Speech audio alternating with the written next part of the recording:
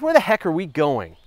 We're snuggled in our little solar system, hurtling through the cosmos at a blindingly fast 2.2 million kilometers per hour. We're always orbiting this and drifting through that, and it's somewhere out in the region that's not as horrifically terrifying as what some of our celestial neighbors go through. But where are we going? Just around in a great big circle or an ellipse, which is going around in another circle, and it's great big circles all the way up? Not exactly. Our galaxy and other nearby galaxies are being pulled towards a specific region of space. It's about 150 million light years away. And here's the best part.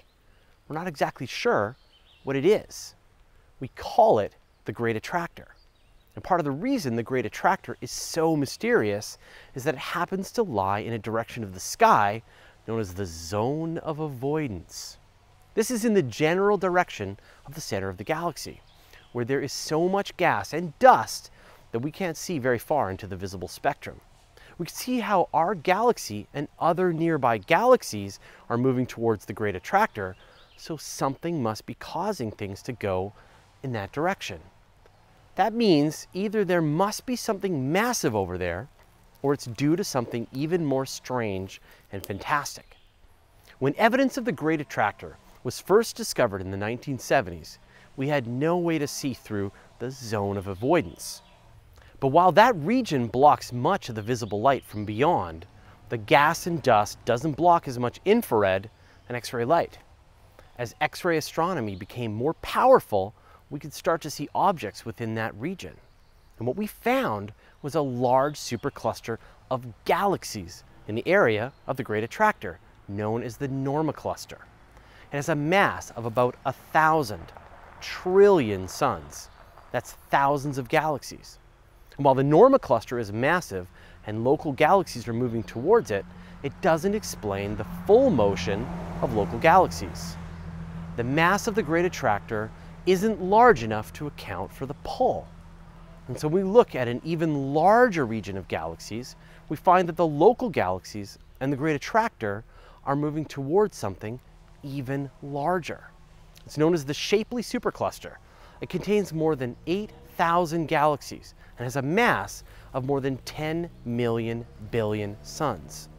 The Shapley supercluster is, in fact, the most massive galaxy cluster within a billion light years. And we and every galaxy in our corner of the universe are moving towards it. So as we hurtle through the cosmos, gravity shapes the path we travel. We're pulled towards the great attractor and despite its glorious title, it appears, in fact, to be a perfectly normal collection of galaxies, which just happens to be hidden. So what do you think? What are you hoping we'll discover over in the region of space we're drifting towards? Tell us in the comments below. Thanks for watching. Never miss an episode by clicking subscribe. And we couldn't do this without the members of our Patreon community. People like Christine Reuter and the many others who join us to help create and deliver great space and astronomy content.